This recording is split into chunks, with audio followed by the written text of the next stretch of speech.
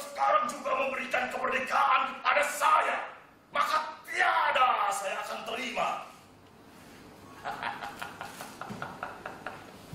Itulah secuplik monolog teater Tan Malaka berjudul Saya Rusa Berbulu Merah.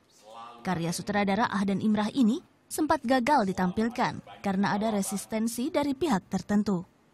Kami sore, berlangsung di Gedung Institut Frances Indonesia Bandung, gelaran ini berjalan lancar. Salah satu budayawan sekaligus dosen seni ITB Tisna Sanjaya terkesan dengan karya ini. Karya seni monolog itu harus dilihat dulu sebagai sebuah karya seni yang utuh, yang independen. Dan ini pembelajaran yang bagus. Momentum itu tepat sekali ketika karya-karya seni uh, dari Tan Malaka ini untuk disampaikan pada situasi sekarang. Berdurasi 1 jam 30 menit, pentas monolog yang menceritakan sejarah hidup sosok Tan Malaka ini terasa hidup.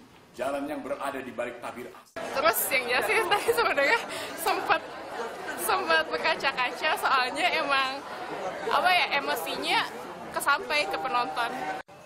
Teater yang berlangsung sejak Rabu lalu dijaga ketat aparat kepolisian seiring adanya aksi penolakan dari Front Pembela Islam Kota Bandung karena dianggap tidak mengusung ideologi komunis. Sang penyelenggara menjamin teater ini murni kesenian yang mengusung nilai sejarah dan kemanusiaan.